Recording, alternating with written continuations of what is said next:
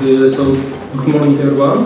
My name is um, Tomasz Szewczyk and I'm a PhD student at Space Research Center. Today I will be talking about uh, wavelet transform and its use in electromagnetic emission analysis. Uh, I think that this topic uh, is also applicable to CubeSats. I will mention it later on. So, I will, uh, I will start with the introduction to electromagnetic emissions in space plasma. I won't bore you with the details, just one slide. Then uh, background on wavelets, uh, and then I will show you uh, a lot of pictures from a wavelet processor and some examples of how to use wavelets. So, uh, if you take a look at the, the picture here, the situation of Earth is quite uh, complicated. So, we've got uh, ionosphere and radiation, uh, radiation belts, then the magnetosphere which is blown by the sun. Generally speaking, uh, the, the, whole system is very uh, turbulent and uh, non-linear. Um, this uh, requires still further investigation. Um, all the factors determining the state of, of uh, near-Earth plasma uh, falls into the term of um, space weather. It is actually quite important aspect of ESA investigation. it is mainly because the, the, the space weather uh, is important uh, to, to get uh, reliable satellite services such as GPS or communication. And one of the ways to determine the state is to listen to natural electromagnetic emissions like plasma frequency or uh, uh cyclotron frequency, which uh, give, uh, gives us information about concentrations of ions and electrons, temperature and so on. Uh, currently at Space Research Center we are uh, developing methods to, to do on-board processing more, more robustly.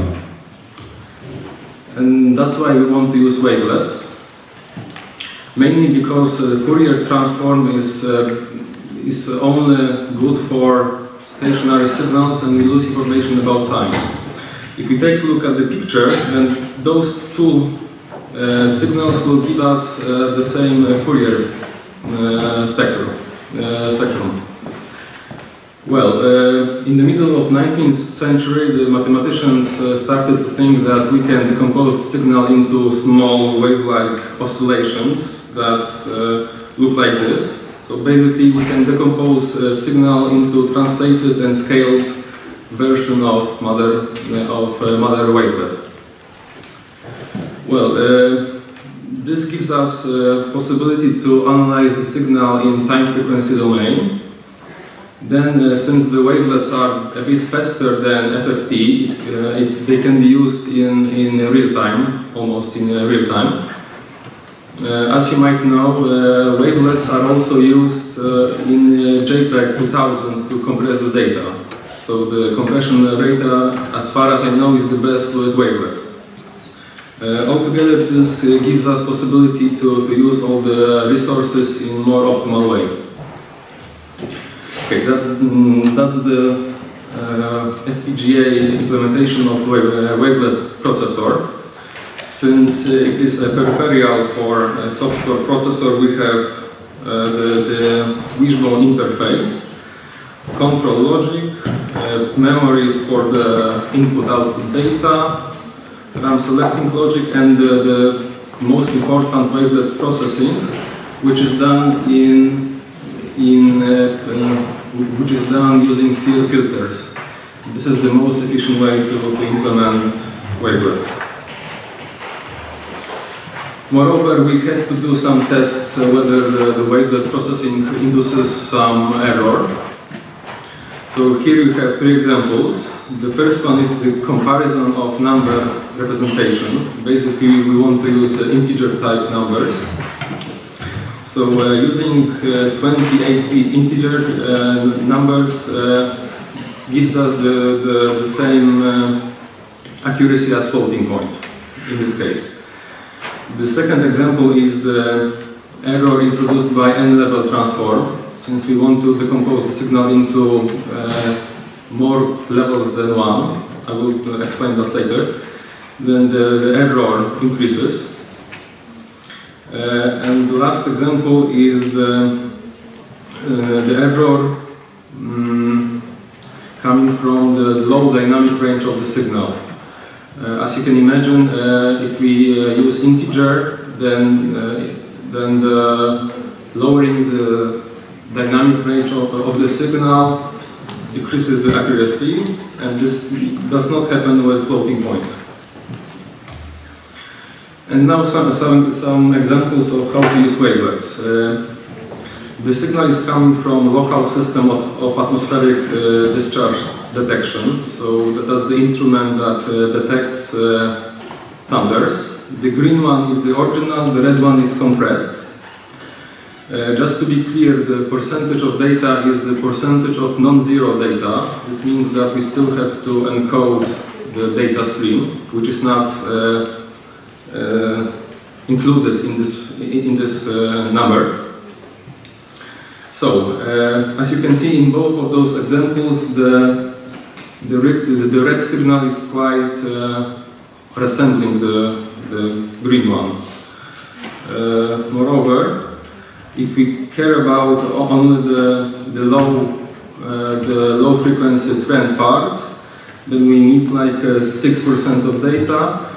And if we care about only the high frequency part, which is uh, something that we also might want to know, then like 1% uh, of data is needed. The second example uh, is the, uh, this, is the spectrogram from the Demeter satellite.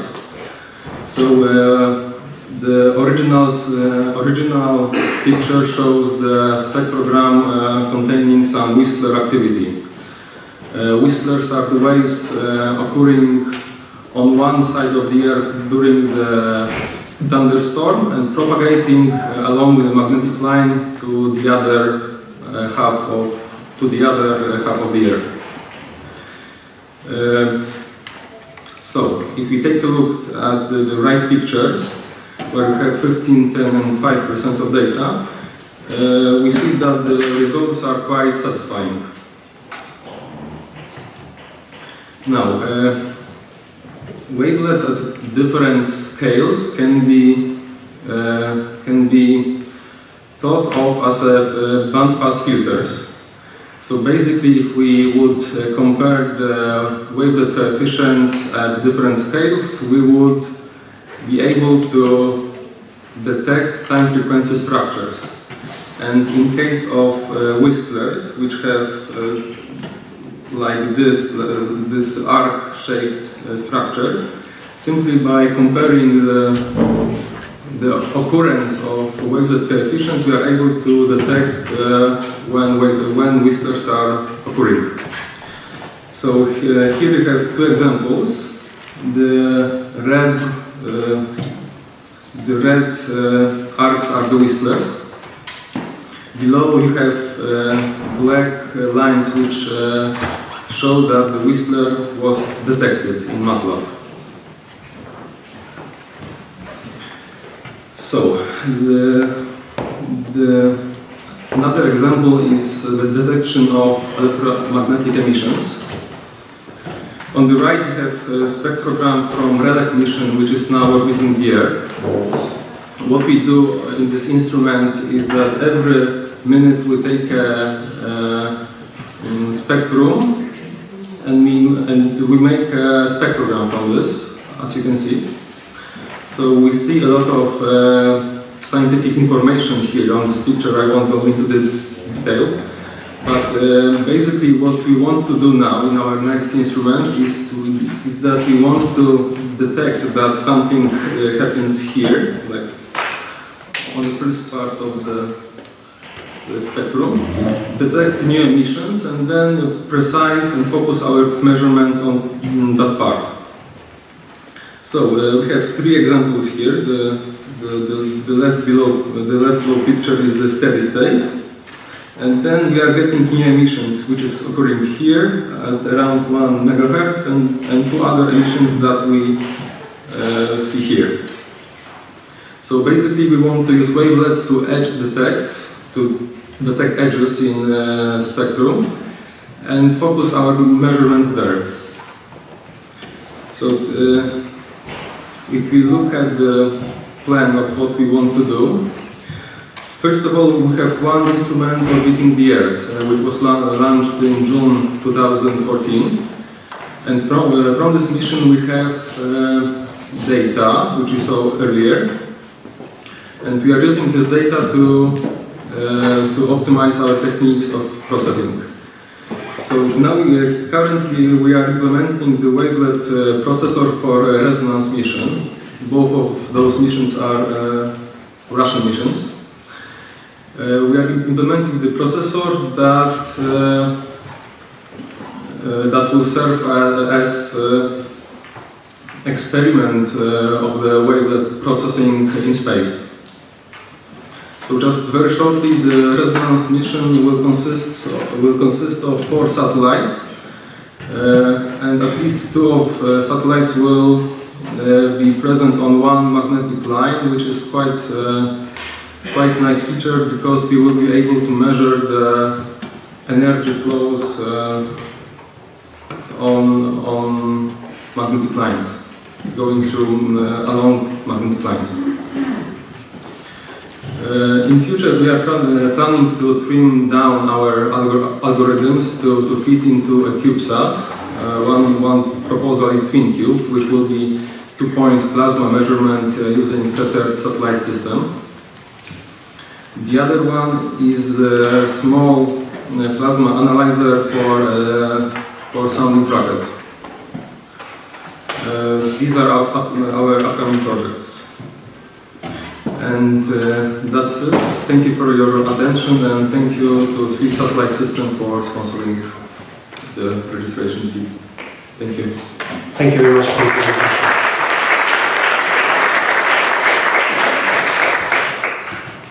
Please, any questions for the speaker?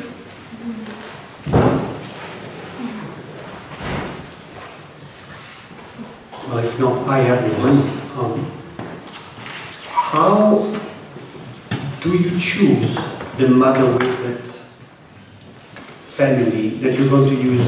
You know, when you choose different wavelets family, you introduce squeeze effects like non non-wanted uh, overshooting or undershooting. I, I checked that you use a Morlet wavelet type. Mm -hmm. That was one of your first slides. Yeah, yeah. How do you deal with that? How you choose the one that you that fits? Which is the scientific reason behind that? Uh, well, different wavelets have different uh, uses. For example, the simplest Haar is good for uh, edge detection. Uh, Daubechies wavelets, which are the most popular, I'm guessing, uh, have some really uh, nice properties uh, regarding, let's call it data reduction. Then there are wavelets for image processing. So it depends on the use, the wavelets are different. I didn't want, I, I didn't want to get into the, the wavelet theory, but there is a lot to, to, to tell. So you're just selecting one and use that one implementing in your flight software? Actually, this can be the, changed uh, because the, the wavelet coefficients are placed into the memory, so this can be switched.